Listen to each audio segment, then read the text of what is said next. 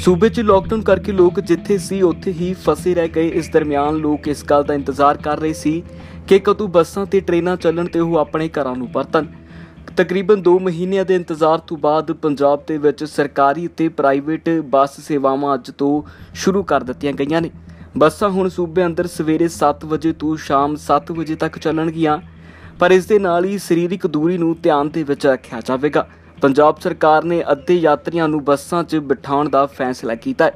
ਯਾਤਰੀਆਂ ਦੀ ਗਿਣਤੀ ਘਟਣ ਕਾਰਨ ਸਰਕਾਰ ਵਿੱਤੀ ਬੋਝ ਸਹਿਣ ਜਾ ਰਹੀ ਹੈ।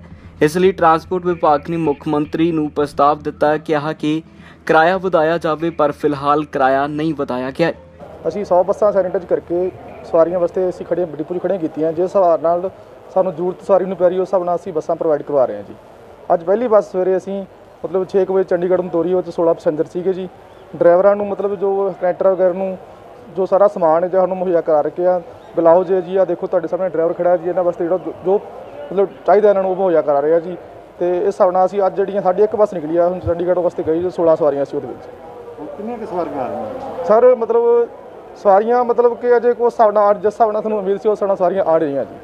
ਸਵਾਰੀਆਂ ਮਤਲਬ ਬਹੁਤ ਘੱਟ ਹੈ ਜੀ ਇੱਕ ਹੀ ਤੋਰੀ ਹੈ ਹੁਣ ਸਵੇਰ ਦੀ ਘੱਟ ਅਸੀਂ 5 ਵਜੇ ਤੋਂ ਬੱਸਾਂ ਲਾਈਆਂ ਕਾਊਂਟਰ ਤੇ ਜੀ। ਇੱਕ ਸਵਾਰੀ ਬੱਸ ਚੰਡੀਗੜ੍ਹ ਨੂੰ ਗਈ ਹੈ ਜੀ। ਇੱਕ ਹੁਣ ਡੱਬਲ ਵਾਲੀ ਬੱਸ ਖੜੀ, ਉਹਦੇ ਚ 16 ਸਾਰੀਆਂ ਜੀ।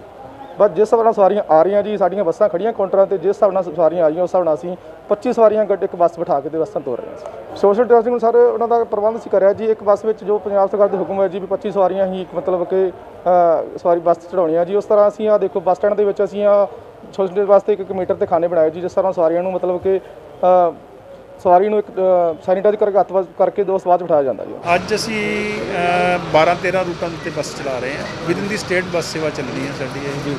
ਸਾਡੀ ਇਹ city to city bus service ਜਿੱਥੇ ਵੀ ਸਾਡੇ ਬੱਸ ਸਟੈਂਡ ਅਵੇਲੇਬਲ ਹੈਗੇ ਆ ਅਸੀਂ ਉੱਥੇ ਹੀ ਬੱਸਾਂ ਚਲਾਉਂਦੇ ਹਾਂ। ਜਿਸ ਤਰ੍ਹਾਂ ਲੁਧਿਆਣਾ ਮੋਗਾ ਹੈ ਲੁਧਿਆਣਾ ਮੋਗਾ ਫਿਰੋਜ਼ਪੁਰ ਹੈ ਲੁਧਿਆਣਾ ਜਲੰਧਰ ਅੰਮ੍ਰਿਤਸਰ ਹੈ ਲੁਧਿਆਣਾ ਸੰਗਰੂਰ ਹੈ ਲੁਧਿਆਣਾ ਪਟਿਆਲਾ ਹੈ ਲੁਧਿਆਣਾ ਬਠਿੰਡਾ ਹੈ ਇਹਨਾਂ ਰੂਟਾਂ ਦੀ ਜਿਹੜੀ ਬੱਸ ਸੇਵਾ ਸਾਡੀ ਚੱਲ ਰਹੀ ਹੈ। ਉਹਦੇ ਕਾਰਨ ਇਹ ਹੈ ਵੀ ਸਾਡੀਆਂ ਜਿੰਨੀਆਂ ਵੀ ਅਸੀਂ ਪੈਸੇਂਜਰਸ ਲੈ ਰਹੇ ਹਾਂ ਇੱਥੋਂ ਉਹਦੀ ਪਹਿਲਾਂ ਥਰਮਲ ਸਕਰੀਨਿੰਗ ਹੁੰਦੀ ਹੈ। ਇਹਦੇ ਵਾਸਤੇ ਸਾਡੇ ਕੋਲ ਹੈਲਥ ਦੀਆਂ ਹੈਲਥ ਡਿਪਾਰਟਮੈਂਟ ਦੀ ਟੀਮਾਂ ਆ ਚੁੱਕੀਆਂ। ਉਹ ਹਰ ਸਵਾਰੀ ਦੀ ਥਰਮਲ ਸਕਰੀਨਿੰਗ ਕਰਦੇ ਆ। ਇਸ ਤੋਂ ਇਲਾਵਾ ਸਾਡੇ ਕੋਲ ਆਪਣੇ ਵੀ ਥਰਮਾਮੀਟਰ ਹੈਗੇ ਆ। ਸਾਡਾ ਸਟਾਫ ਆਪ ਵੀ ਥਰਮਲ ਸਕਰੀਨਿੰਗ ਕਰਦਾ ਹੈ। ਇਸ ਤੋਂ ਇਲਾਵਾ ਸਾਡੇ ਕੋਲ ਸਿਵਲ ਡਿਫੈਂਸ ਦੀਆਂ ਟੀਮਾਂ ਵੀ ਆਈਆਂ ਹੋਈਆਂ।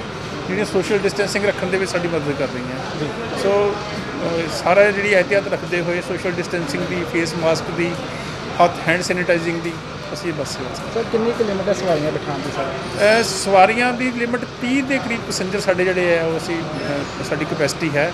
ਤਿੰਨ ਵਾਲੀ ਸੀਟ ਤੇ ਦੋ ਸਵਾਰੀਆਂ ਦੋ ਵਾਲੀ ਸੀਟ ਤੇ ਇੱਕ ਸਵਾਰੀ। ਤੇ ਕਿੰਨਾ ਕੁ ਇੰਤਜ਼ਾਰ ਕਰਦੇ ਮਤਲਬ 30 ਸਵਾਰੀਆਂ ਲੈ ਕੇ?